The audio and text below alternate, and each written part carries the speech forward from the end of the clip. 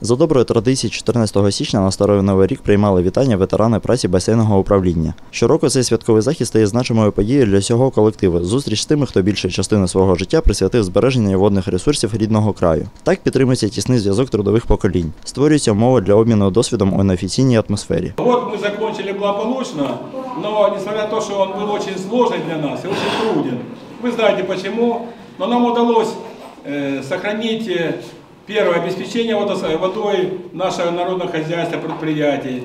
Мы, не смогли, мы смогли удержать на пульсе контроль, мы не допустили ни одного нарушения водоснабжения, особенно что касается вот бактериальных загрязнений и прочее. Приятно, что сегодня вот собрались, люди улыбаются все, знаете, это каждый, каждый день улыбки, это, в общем-то, он дает пользу большую. Потом общение. У нас общение с ветеранами и в процессе, не только вот встреча сегодня. Ну а сегодня это максимум, так сказать, как венец за год вот собирается. Мы их приглашали, День сельского донца был приглашали.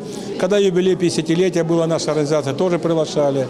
Вот так. Я думаю, что связь поколений, потому что у нас сегодня обновляется коллектив, много молодых сотрудников. Я думаю, что это очень здорово. Приємним подарунком для дружного колективу басейного управління стали музичне вітання від фольклорного гурту Слов'яночка з побажаннями усім міцного здоров'я, злагоди, добробуту і миру. Мы как пенсионеры очень рады, что нас, наше производство, на которое мы работали очень долгое время, не забывает нас, особенно на- начальник. Э, С таким начальником можно работать, я не знаю, ну, до конца жизни своей. Коллектив тоже считается это наш родным домом.